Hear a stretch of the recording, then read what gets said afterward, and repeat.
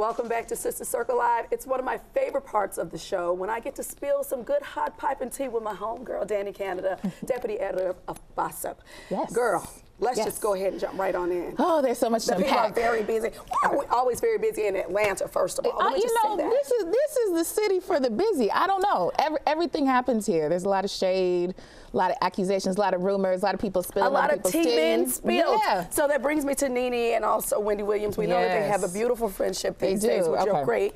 But is there a little tension? There's a little tension. So Wendy Williams was on her show, and she just could not wait to tell everyone Nene's business. She said she just got a text message from Nene, and she said she's quitting the Real Housewives of Atlanta. Not only that, she hinted that Nene is holding this huge secret. She has this big weight that she's carrying, and everybody's speculating like, what's going on? Is she sick?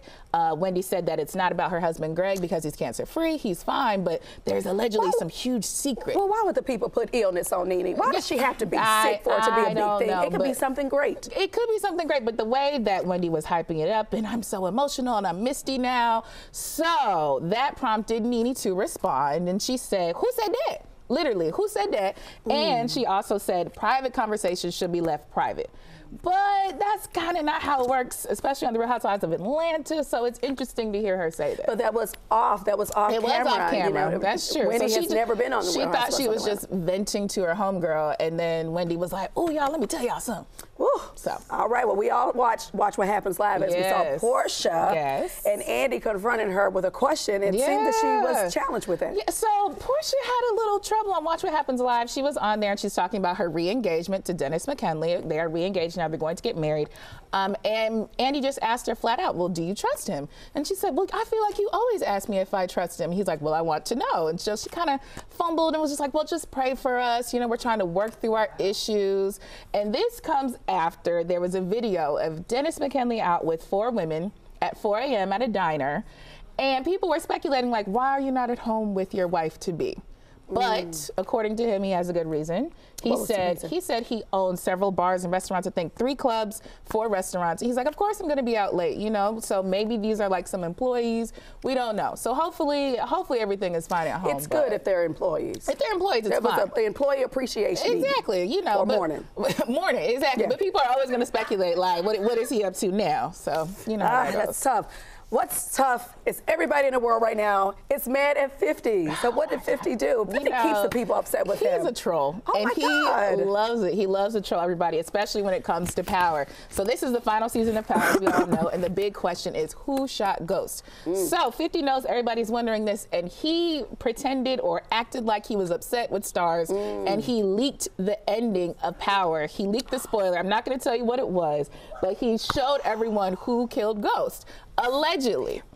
And then he went back and deleted it and said, oh, you know, LOL, just kidding, and posted an interview from Courtney Kemp where she said there are several endings. They shot several endings to keep everyone on their toes. So we don't really know if it's true, but on his page, you could clearly see someone shooting who we think is Ghost. Oh my God, Fifth. Yeah. Just change the ending. Yeah, they, they, they probably just need to scrap that whole thing Yeah, and scrap that do one. something And else. go But to the there are next. several leaks out there, so we don't know what's going on. Ah, leaking. Leaking. All right, leaks. Jamie Foxx.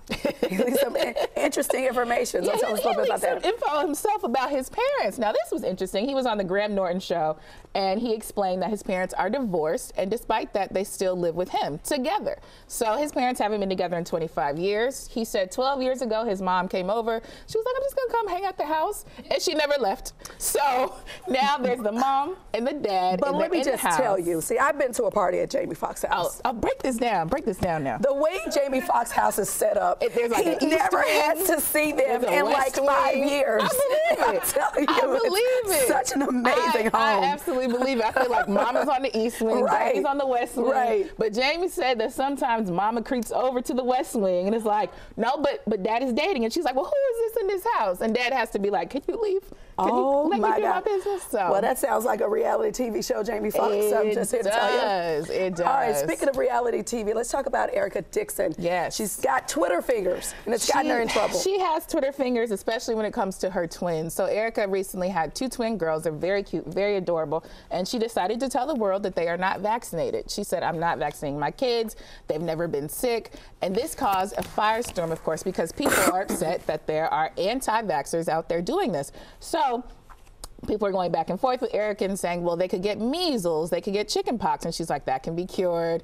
Um, she was just firing back at them. It caused a whole firestorm. Actually, model Lira Galore jumped in. Really? Yes. So, you know, she has a baby. And she said, I kind of think there's a conspiracy between the government and the pharmacies to get people to get vaccinations, and we don't need it, and it's making people sick. And so it's a whole, it was a whole shenanigan on Twitter. Mm, well, there's a lot going on with Lira right now, Yeah, too. girl, all that stuff with P. Yeah. We'll talk about that next time. Yeah. right now, let's talk about Rihanna, and she's not with her billionaire boyfriend anymore. Hassan. Yes, so Ra- Rihanna and her billionaire boo, Hassan Jameel. Isn't he cute? He is fine. handsome, right? Hassan. Handsome. They were together for My three God. years. They seemed to be a beautiful, happy couple. She met the family. He was with her family. They were kicking it. Um, but they broke up for undisclosed reasons. We don't know really what happened between them. But people later saw Rihanna hanging out with Drake. Now, as we all know, Drake They've always been friends. They've always been friends, and Drake declared his love for her publicly at like the 2016 VMAs. So people are speculating, like, well, are they doing a thing? But I don't really think so, and I'm gonna tell you why. Tell me why. Okay, so they were spotted at ASAP Yams Day. It's this whole celebration for ASAP Yams, Yeah, the late rapper. I saw that. And she was actually there with ASAP Rocky. And so people think that there might be something going on between them. They also maybe kind of sort of hooked up. And so she was spotted backstage with him. They looked really happy. They went to the British Fashion Awards together. So if I were to bet Miss Quad, I would say Rihanna is dating ASAP Rocky and not Drake. But why does she have to be dating either of them? She could just she be could minding her hanging business. out. I don't understand when we see someone young and attractive mm-hmm. and young and handsome, we automatically put them together. We It do. so she could stay next to anybody and they're dating. So I'm going to stay almost- next to her because stay- I'm oh, going to stay next to her because I need those rumors in my life. So. I am. So next you'll be dating Rihanna. I'll be right there. I have no problem with that. Dani, I love having you here. Thank you so much. For more on the scoop, on these scoops and more, you want to go to Bossip on all social media platforms.